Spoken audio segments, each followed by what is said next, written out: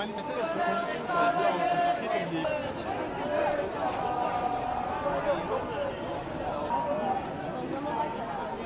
des... donc apporter notre soutien bien sûr euh, et en ayant une pensée très forte pour euh, les victimes.